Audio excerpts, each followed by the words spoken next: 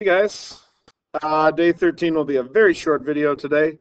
Um, now we're solving problems with sector area and arc length. We already know how to do both of them.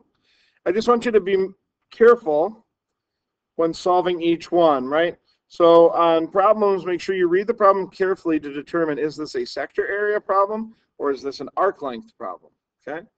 Look for the word sector area or arc length in there. Just as a reminder, our arc length formula is theta over 360 times 2 pi r.